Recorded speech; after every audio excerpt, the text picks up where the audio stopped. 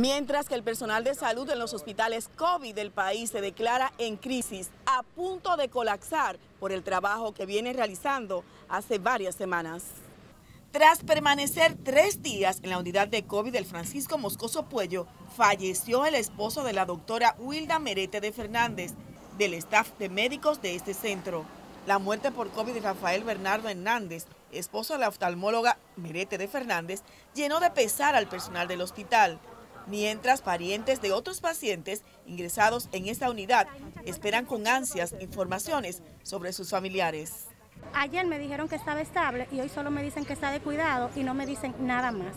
En tanto que los profesionales de la salud, agrupados en Cona Salud y que trabajan en las unidades de COVID, dicen estar a punto de colapsar.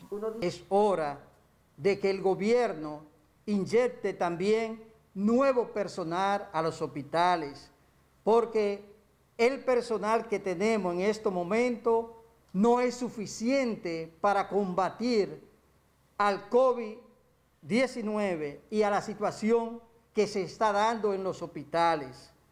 Los cuidados intensivos están llenos.